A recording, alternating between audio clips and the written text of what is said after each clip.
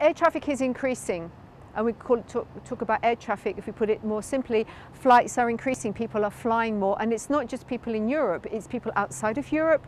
Um, we have um, the wealth of other nations that, are, that is growing, and people, um, they want to travel, they want to see other parts of the world. So we have a lot of people, a lot of visitors coming into Europe. So air traffic is growing, it's growing for other reasons as well. People are traveling more for work, they're traveling more for education, for health, etc.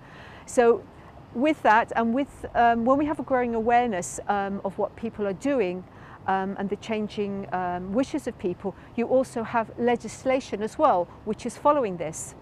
So when you have people wanting to move around more, you also see people being more aware of the impacts of those movements. As we see noise again, as we can see the aircraft, more emissions. So legislation is moving, it's becoming stricter.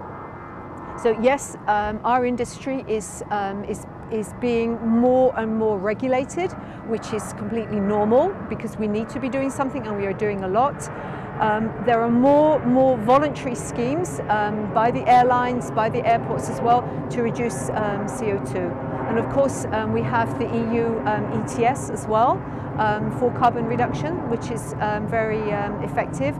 And also at the global level as well. There's a lot of work going on at the global level course, it's too early to, to talk about that yet, um, but at all different levels, at local levels, national levels, the European level and the global level, um, work is going on, concrete steps are being taken, um, we are reducing our impact, but we have to balance that obviously with people's desire to travel.